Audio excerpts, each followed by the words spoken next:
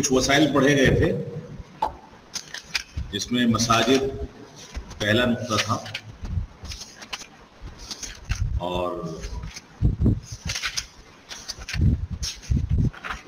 उसी के जुन में कई सारी चीज़ें आपको बताई गई थी। खुतबात जुमा है, महाजरात हैं और खुतबात ईदैन हैं। उसके बाद इंशाउल मराकज़ इस्लामिया आया था यानी मुअससात और इस्लामी मराकज़ का क़्याम दावत तबलीग के सिलसिले में।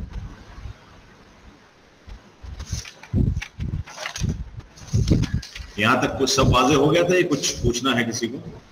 उसके बाद इंशाउल मुअससात वल मराकज़ ही में चंद चीज़ें हम और देखेंगे यहाँ पर। अल मुअससात वल मराकज़ में ज़िमनन, चंद चीज़ें मजीद लिखी। अगरचे इससे हम गुजर चुके हैं।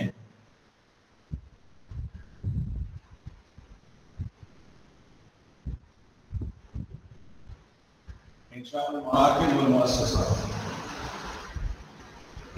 मराकज और मुस्सा के तहत कई सारी चीज़ें आ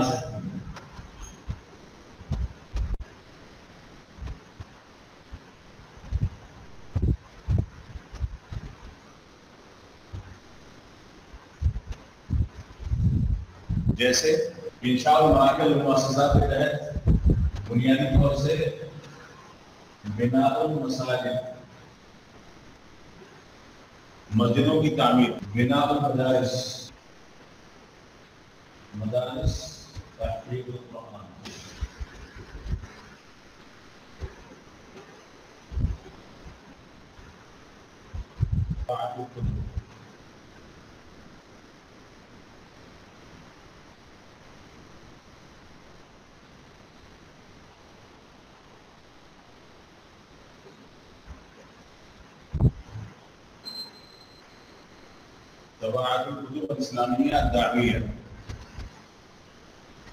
जमैयात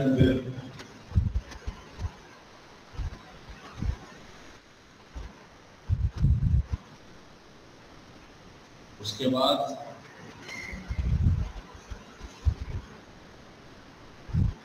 बिना मुस्तफ़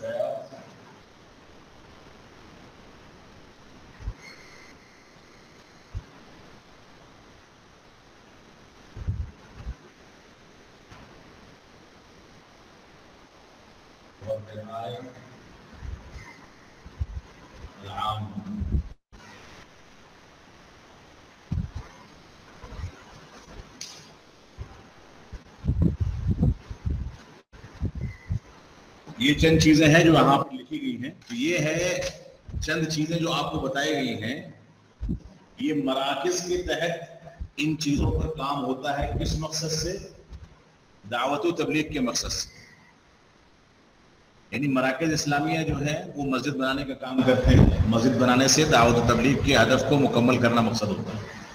मदारस बनाते हैं, उससे भी दावत तबलीग का मकसद हासिल होता है। तहफीद करीम खसूसियत के साथ लिखा गया है। कुरान मजीद की अहमियत के मद्देनजर अगरचे मदारस के तहत ही आ जाता है चौथी चीज़ है तवातुलकुतुब इस्लामिया, दावा अदावी इस्लामी और दावती किताबों को छापना। शाये करना। उसके बाद एक चीज़ है जमयतुल बिर। इससे आप लोग वाकिफ हैं कि नहीं जमयतुल बिर? आपके यहाँ नादी में एक है संदूकुल बिर। कभी उसमें हिस्सा लिया है? संदोकुल बिर एक शोबा है आपका नादी का जिसमें ऐसे तलबा के लिए कुछ फंड इकट्ठा किया जाता है जो किसी से कहते भी नहीं है और परेशान भी हैं तो खामोशी के साथ उनका ताउन किया जाता है। तो जमयतुल बिर से मुराद यही है कि इस तरह के मराकज, जिसमें लोग अपना कुछ थोड़ा बहुत माल जमा करें, गल्ला है, पैसा है, हर तरह की चीज़, और जरूरतमंदों तक पहुँचाए जाए। और छठी चीज़ है बिना मुस्तशफियात व रियाया यानी हॉस्पिटल कायम करना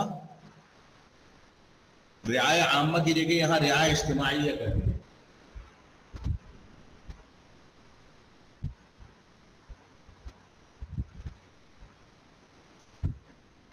इस पर मैं थोड़ा सा वक्त लूँगा आप लोगों का।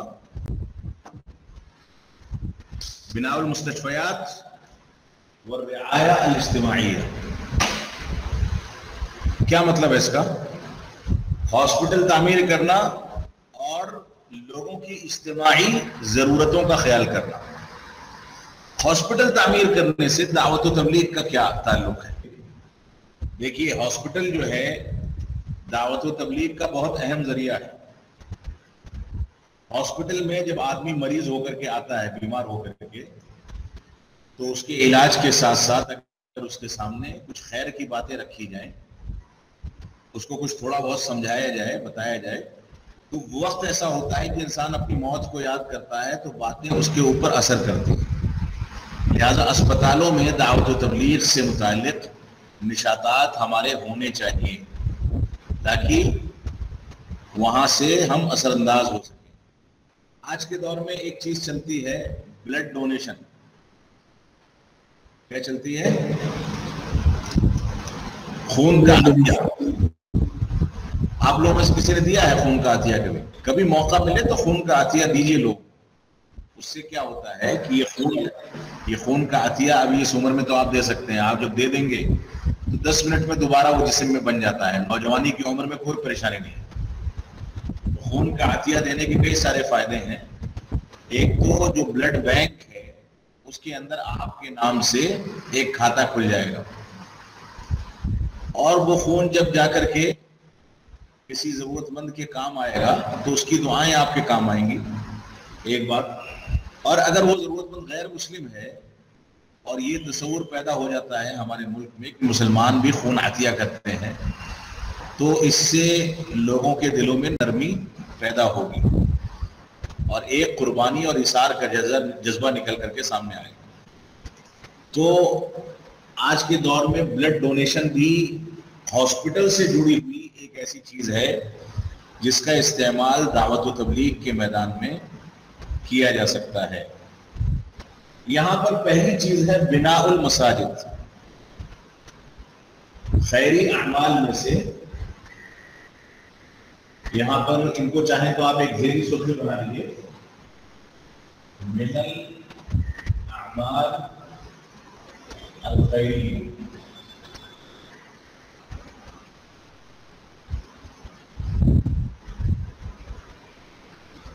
खैरी के कामों में से एक काम आपको बताया गया, बिनाउल मसाजिद। बिनाउल मसाजिद में यकीनी बात है कि दावत तबलीग तो बिल्कुल वाजे है खैर के कामों में से। लेकिन आज के दौर में इसका इस्तेगलाल कैसे होता है? इससे पहले कुछ चीज़ें आई थी। उन चीज़ों को छोड़ करके बकिया चीज़ें मैं जानना चाहता हूँ कि मसाजिद का गलत इस्तेमाल किस तरीके से होता है। आपको जो बता रहा हूँ वो समझेंगे जो जहर उगलने का काम हो रहा है मस्जिदों से या मस्जिदों के अंदर जो बेईमानी हो रही है या इजारादारी हो रही है या डिक्टेटरशिप है ये सब इन सब चीज़ों के कुछ ना कुछ जिम्मेदार हम लोग भी हैं कि नहीं है? हम ही लोग हैं से हाँ हमारे ही जैसे लोगों ने जाकर के ये माहौल बनाया ना। तो हमें सबसे पहले इस सिलसिले में अपनी इसलाह करनी होगी ताकि मस्जिदें सुधर सके। हर वक्त ये शिकवा करना कि मस्जिद में ऐसा होता है, वैसा होता है, ये समझदारी नहीं है। समझदारी ये है कि हम ये देखें कि क्या हमारी जात से तो ऐसे मसाइल पैदा नहीं हो रहे, जिन मसाइल पर हम खुद एतराज़ करते हैं।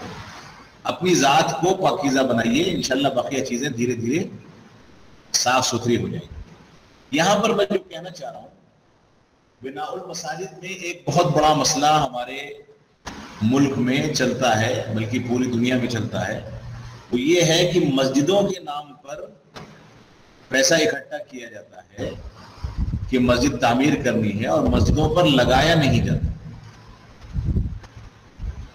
समझ रहे? यानी मिसाल के तौर पर किसी मस्जिद को बनाना है, हमें दस लाख रुपए का बजट है तो पाँच लाख रुपए, छह लाख रुपए में तैयार हो गई, बाकी चार लाख, पाँच लाख रुपए आदमी के निजी खर्च में आ गए। एक सूरत तो ये होती है। एक सूरत ये होती है कि मस्जिद का प्रोजेक्ट बनाते हैं और उसका पैसा पैसा पूरा ले लेते हैं, लेकिन मस्जिद तामीर ही नहीं करते। और जब रिपोर्ट मांगी जाती है तो रात में और सुबह फजर के बाद इधर उधर गाँव देहात में जो मस्जिदें बन रही हैं, उनका फ़ोटो लेकर के खींच करके भेज देते हैं, ताकि हमें पैसा मिल जाए। इस तरह के वाकयात बहुत आम होते जा रहे हैं। और दूसरे लोगों को छोड़ दीजिए, अपनी जमात में भी बहुत आम होता जा रहा है। ये चीज़ अच्छी नहीं है। ठीक है? तो मस्जिदों के साथ खयानत का एक वतीरा ये है, या एक सूरत हाल ये है जो हमने इख्तियार कर रखी है। यही सूरत हाल बिनाउल मदारिस में भी है। मदरसे जो बनाए जाते हैं, उसके नाम पर भी यही सूरत इख्तियार की जाती है बहुत सी जगहों पर। बेईमानी की जाती है, ये सही नहीं है। तबातुल कुतुब के अंदर भी ये सूरत हाल कसरत से इख्तियार की जाती है। जमैयातुल बिल में भी ये सूरत हाल इख्तियार की जाती है। और मुस्तशफयात और रियाया इज्तमाहिया के अंदर भी ये करप्शन मौजूद है। तो खुलासा ये है कि इस तरह का करप्शन किसी भी चीज़ के अंदर हो, वो हमारे लिए नुकसानदेह शेख एक सवाल हाँ बताइए। गड़बड़ चला रहा है सर हाँ? सारा कुछ तो कह रहा हूँ शेख ऊपर से गड़बड़ चला रहा है। खासतौर से गाँव देहात में जो मसाजिद की हालत है ना शेख हाँ। ऐसे ऐसे ऐसे ऐसे खुतबा को रखते हैं उनकी न तकरीरें सही होती हैं। अगर उनकी जगह पे अच्छे खुतबा को बुलाएँगे आइमा को बुलाएँगे तो उनकी तकरीर से उनकी ईमान पुख्तगी होगी अखलाक और किरदार में कुछ असर पड़ेगा। पूरा, तो पूरा ढांचा पूरा ढांचा डैमेज है। आप लोग जो निकलते हैं मदारिस से आपकी ज़िम्मेदारी है कि अपने अपने इलाकों में कम से कम अपनी ताकत भर काम करें। ये सूरत हाल जो शिकवा आप कर रहे हैं हमें इसका एहसास है। और ये चीज़ हर जगह मौजूद है लेकिन इसको खत्म कैसे किया जाएगा? एक आदमी दो आदमी तो खत्म नहीं कर पाएगा ना।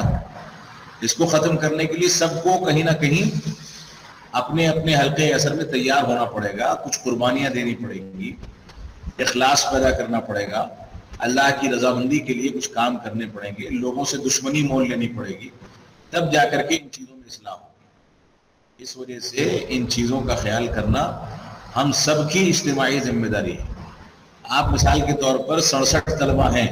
सड़सठ तलबा का आज़म कर लें कि हम अपने अपने सड़सठ इलाकों में या अपने अपने जो भी मकामात हैं वहाँ पर मस्जिदों से मुंसलिक होंगे तो कम से कम सड़सठ मस्जिदों में हम मुस्बत इकदाम करेंगे, इस तरह की खराबियों को दूर करने की कोशिश करेंगे। तो एक साल में अगर पचास, साठ, सत्तर मस्जिदों में ऐसा काम हो जाता है तो मैं समझता हूँ कि दस साल, बीस साल में एक इनकलाब आ सकता है। लेकिन मुश्किल ये है कि आपके अंदर ये जज्बा है कि ऐसा होता है, वैसा होता है। आप जब फारिग होकर के यहाँ से निकलते हैं तो आप भी उसी माशरे का एक हिस्सा बन जाते हैं, उसका असर कबूल कर लेते हैं। और उसके बाद पता चलता है कि शूरी या गैर शूरी तौर पर आप उसमें शामिल हो जाते हैं। माशरे और अपनी जमात के दरमियान काम करने से कभी मायूस नहीं होना चाहिए। आदमी को एक दिन परेशानी आएगी, दूसरे दिन आएगी। अगर वो हक पर है तो अकेला तो कभी नहीं हो सकता, उसके साथ अल्लाह ज़रूर है। और हक कहने की वजह से कोई मुश्किल आए, उस पर सब्र कीजिए। और बाकायदा ईमानदारी, इखलास के साथ अपने काम को अंजाम दीजिए। एक दिन तकलीफ़ होगी, दो दिन तकलीफ़ होगी, एक साल होगी, दो साल होगी, उसके बाद कहीं ना कहीं आपको खुशी मिलेगी। और दुनिया में खुशी मिले ना मिले, आखिरत में कामयाबी ज़रूर मिलेगी। यही हमारा उसूल है दुनिया में काम करने का। दुनिया में जब आप काम करने लगेंगे तो कोई भी आपका साथ नहीं देंगे। आपके सगे रिश्तेदार भी आपका साथ नहीं देंगे।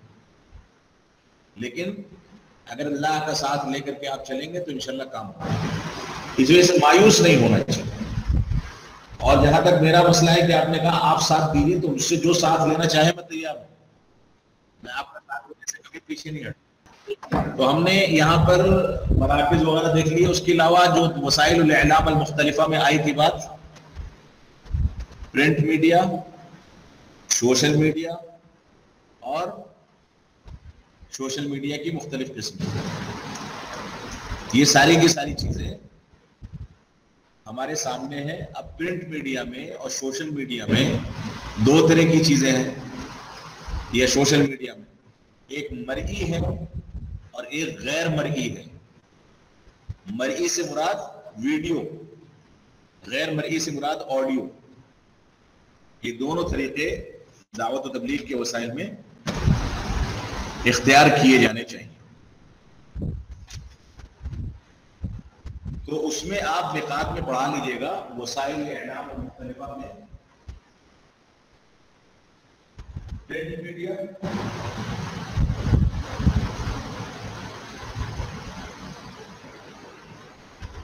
और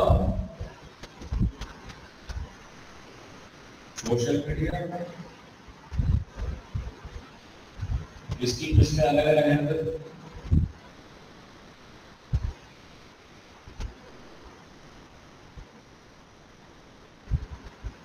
मरई और गैर मरई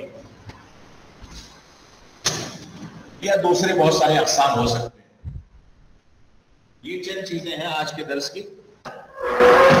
अब हम असल मौजू पर आएँगे, आइंदा दर्श में, इंशाल्लाह। असल मौजू से मुराद क्या है? अब हम आगे पढ़ेंगे मुख्तलिफ़ अकवाम में दावत तबलीग के कौन से असालीब इख्तियार किए जाने चाहिए? मुख्तलिफ़ अकवाम मुसलमानों में से उन मुसलमानों के साथ कौन सा उसलूब इख्तियार किया जाए जो मुसलमान मुती फरमा बरदार है? या किसी हद तक मुसलमान है? ऐसे ही उन मुसलमानों के साथ कौन सा उसलूब इख्तियार किया जाए जो सरकश हैं या गुनहगार हैं? दीन से दूर है। इसी तरीके से अहले किताब के साथ कौन सा उसलूब इख्तियार किया जाए? मुशरकों के साथ कौन सा उसलूब इख्तियार किया जाए? ये चीज़ें आपको इंशाल्लाह निकात की शक्ल में बताई जाएँगी।